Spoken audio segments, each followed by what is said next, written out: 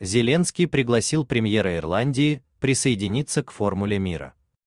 Во вторник, 10 января, президент Украины Владимир Зеленский провел первый телефонный разговор с премьер-министром Ирландии Лео Варадкаром. Об этом сообщает РБК Украина со ссылкой на телеграм главы государства. Провел первый телефонный разговор с премьер-министром Ирландии Лео Варадкаром. Поблагодарил за замораживание российских активов. Обсудили поддержку энергетической системы Украины и послевоенное восстановление. Пригласил присоединиться к реализации формулы мира, написал Зеленский.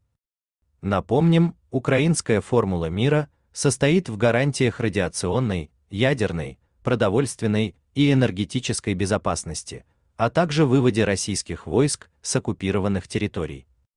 Срочные и важные сообщения о войне России против Украины читайте на канале РБК Украина в Телеграм.